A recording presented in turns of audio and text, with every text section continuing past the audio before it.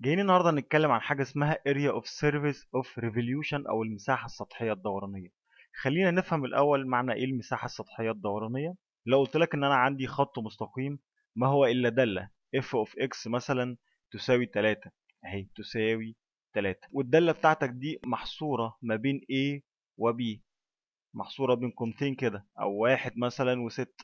إحنا عايزين نعمل revolution أو عايزين نعمل دوران للدالة دي حوالين محور ال X يعني إيه هعمل عملية revolution كأني هبدأ أدورها كده حوالين محور ال X هنشوف هتطلع شكلها عاملة إزاي.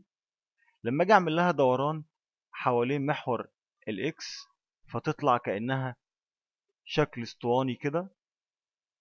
شكل اسطواني. زي ما أنت شايف. فساعتها بنقول إن ال function بتاعتك دي لما جينا ندورها حوالين محور ال X أصبحت أسطوانة زي الشكل اللي أنت شايفه فوق ده.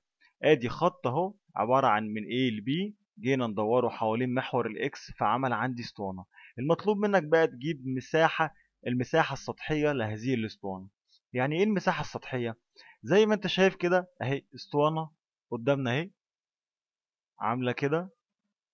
آدي الأسطوانة. بيقول لك لو أنا جيت مثلا قطعت الأسطوانة دي من نص أهي قطعتها من نص كده وبدأت أفردها. لما أجي أفردها هتتحول في الآخر ل sheet كده عبارة عن sheet أهي sheet كبير شوية. أهو آدي ال sheet بتاعي هو ده ال sheet اللي هينتج يبقى الأسطوانة بتاعتنا لو جيت قطعتها من هنا مثلا كده وفردتها وديت ال side ده الناحية دي ووديت ال side ده الناحية دي بإيدي كده الاثنين فهيكون لي ال sheet اللي قدامي ده. فإحنا عايزين نحسب مساحة هذا ال sheet. مساحة ال sheet ده بتمثل لي المساحة السطحية بتاعتي. فهتقول لي هيبقى في الآخر شكله عامل كده كأنه مستطيل. طب عايزين نحسب المساحة السطحية للمستطيل اللي اتكون ده. هتقول لي الطول في العرض. طب عايزين نعرف الطول بكام اللي قدامنا ده والعرض ده بكام. هتقول لي هروح أشوف الأسطوانة دي العرض بتاعها ده أهو. كان كام؟ سين العرض ده اتش مثلا. يبقى الحتة دي من هنا لهنا ما هي إلا اتش طب عايزين نعرف الطول اللي قدامنا ده بكام؟ هتقول لي استنى مش الطول ده جه نتيجة إني فردت الجزء ده أو الحلقة دي؟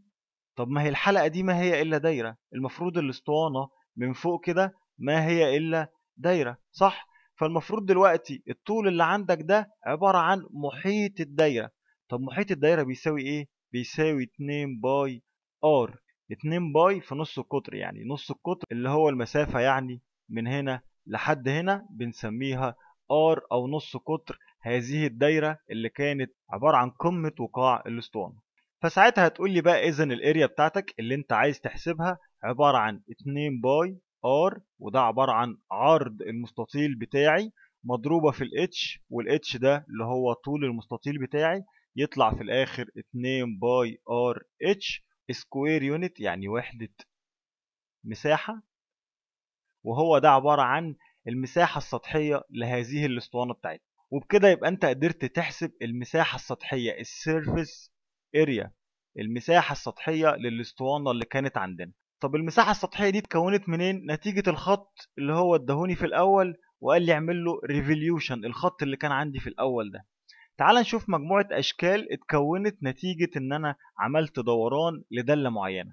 فعندك الكرة مثلا تكونت نتيجة دوران نص دايرة زي اللي أنت شايفها دي لما عملنا لها دوران حوالين محور ال x اداني في الآخر شكل الكرة اللي أنت شايفه وبرضه بنبقى عايزين نحسب مساحة هذه الكرة المساحة السطحية.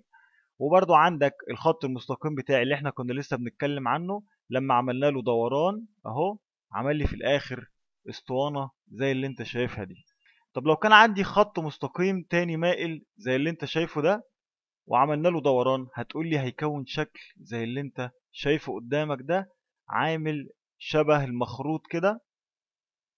مخروط بس مقطوع. وبرده ال function اللي قدامك دي لما نيجي نعمل لها دوران هتكون لي الشكل ال solid ده أو ال 3D ده. طب دلوقتي الاسطوانة كانت سهلة وقدرنا نحسب مساحة الاسطوانة بسهولة المساحة ال surface area يعني. هتقول لي انت فردتها والموضوع خلص. لو اديتك مثلا function زي اللي قدامك دي دالة زي اللي قدامك دي وقلت لك عايزك تحسب لي ال surface area بتاعتها. بتبقى صعبة شوية. هتقول لي هعمل نفس الحكاية. هبدأ أفردها طبعا وهشوف الشكل اللي هيتكون هيبقى شكله عامل إزاي. لما تتفرد مثلا يبقى شكلها عامل كده. مثلا والمفروض دلوقتي أروح أحسب المساحة بتاعتها. طب والشكل اللي بعده ينفع أفرده برضو؟ آه ينفع تفرده. بس المشكلة الشكل ما عادش منتظم عشان تقدر تجيب له المساحة على طول. يعني هنا قلنا قانون المساحة على طول لأن الشكل اللي اتكون شكل منتظم هو ريكتانجولار أو مستطيل. اللي اتكون عندي ما هو إلا مستطيل فقدرت أحسب المساحة. إنما بقى لو عندنا شكل غير منتظم فمش هنقدر نحسب المساحة بسهولة. فبالتالي أنا محتاج قانون أو محتاج قاعدة تحسب لي مساحة أي شكل سواء الشكل ده كان شكل منتظم زي الأسطوانة مثلا أو شكل غير منتظم زي الشكل اللي أنا شايفه قصادي ده. وده اللي هنتكلم عنه في الفيديو اللي جاي.